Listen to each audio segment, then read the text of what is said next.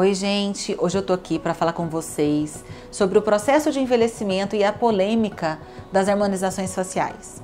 Será que todo mundo fica deformado? Afinal de contas, o que é harmonizar um rosto? O que é usado? Quanto tempo dura? Eu preciso disso para rejuvenescer? Eu sei que muitas coisas passam na nossa cabeça, principalmente quando a gente vive uma época em que cada um fala uma coisa. E olha, se tem uma coisa que me move muito com os meus pacientes é a transparência. O objetivo de ser bem claro e transparente com cada um de vocês. Então vamos lá. Primeira coisa, Harmonização, o que é? A harmonização foi descrita, começou a ser descrita como uma técnica em que se utiliza preenchimento no rosto para rejuvenescer. Sabe qual é o problema? As pessoas começaram a preencher demais os rostos, com o efeito justamente o reverso. Nem o paciente fica mais rejuvenescido, nem mais bonito. O que a gente percebe é um exagero e uma deformação das faces. Elas ficam muito angulosas, bochechas muito altas, lábios muito volumosos, e aí todo mundo começa a ficar com medo de um procedimento que, se bem feito, pode sim ser maravilhoso. Quando o nome diz harmonização, quer dizer buscar uma harmonia através de técnicas e ferramentas. Eu, particularmente como médica, não gosto muito desse termo. Por quê? Porque confunde a cabeça de vocês. É harmonização ou é desarmonização ou é demonização, como vocês falam, e a gente acaba rindo, porque na verdade está tudo muito confuso. Então eu vou aqui esclarecer de uma vez por todas e convido você a assistir isso aqui até o fim, para que você não tenha mais dúvidas. Inclusive, manda esse vídeo para aquela amiga, porque eu tenho certeza que ela vai gostar de entender. Todos nós vamos envelhecer. E esse envelhecimento acontece em quatro etapas principalmente. Se você entender cada uma dessas quatro etapas e como a gente vai tratar cada uma delas, você vai perceber que preenchimento ou harmonização não resolve tudo. Pelo contrário, pode ficar até muito caro para durar pouco tempo. Primeira coisa, gente, com o processo de envelhecimento a gente perde colágeno. Eu pego a pele e ela fica mole. Como a gente vai tratar isso? Hoje existem bioestimuladores, produtos que a gente aplica na pele, que fazem a pele produzir colágeno e levantar. Esses bioestimuladores costumam durar dois anos e dar resultados bastante naturais, desde que aplicados da forma correta. Então você já percebeu por aí que só preenchimento não resolve tudo. Segundo ponto do nosso envelhecimento, existe uma alteração da musculatura, do SMAS, do sistema músculo aponeurótico. Essa musculatura aqui em volta, ela fica frouxa, sem falar que as gordurinhas do rosto elas deslizam e formam aquele bulldog, aquela papada. Pois bem, como a gente vai tratar isso? Tratar é importante porque melhora o contorno do rosto, deixa a gente mais jovem.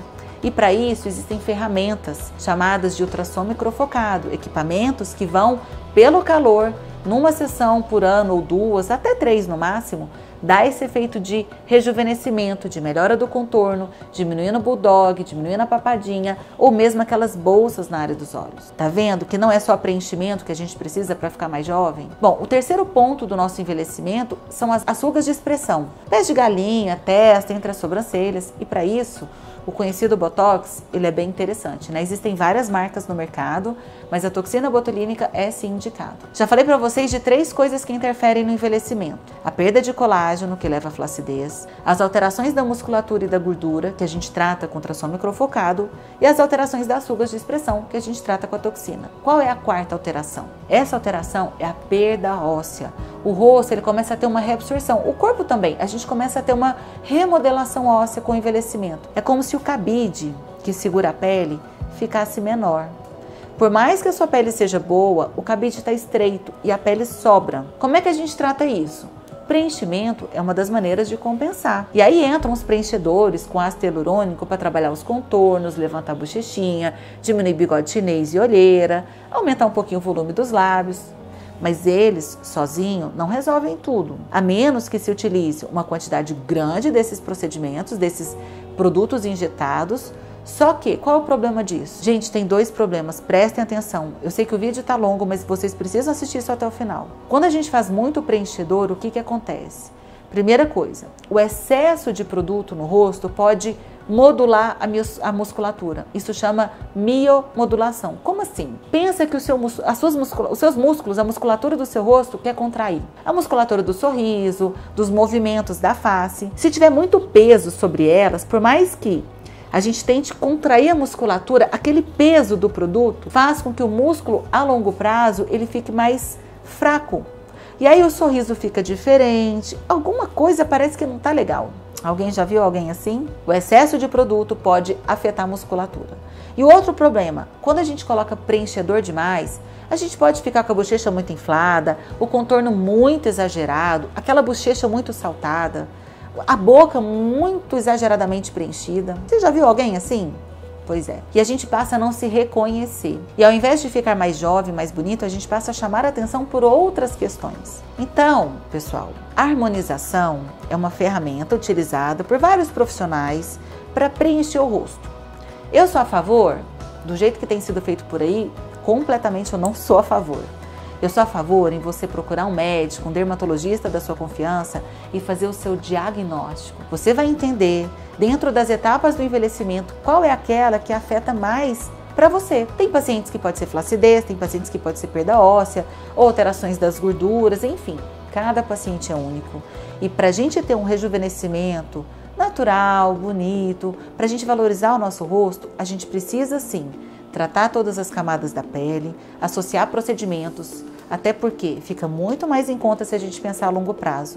Já pensou? Presta atenção que a gente está caminhando para o final e eu sei que isso vai te interessar. A gente vai falar de custos.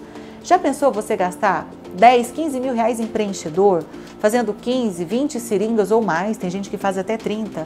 E aí você volta daqui um ano e tem que ficar fazendo quase tudo de novo, a conta não fecha. Agora, se você trata as camadas da sua pele, se você investe por aí, no Brasil em média, 2, 3 mil reais, num bioestimulador que dura dois anos, e aí você vai associando outras ferramentas, ultrassom microfocado, preenchedor, toxina, você trata a pele, a qualidade, as manchas, Pode até ser que você gaste os mesmos 10, 15 mil reais, mas você está trabalhando todas as camadas, você está ganhando naturalidade e durabilidade. Se esse vídeo fez sentido para você, não deixe todo mundo por aí pensando que preenchimento é tudo igual, que harmonização é tudo igual, porque não é.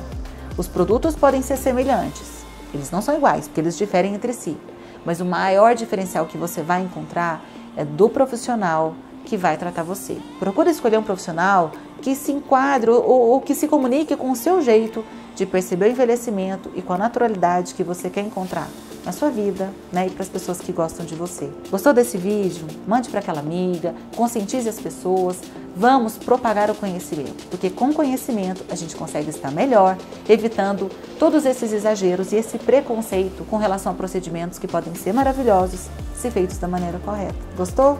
Beijo grande, espero ter ajudado você. Até o próximo!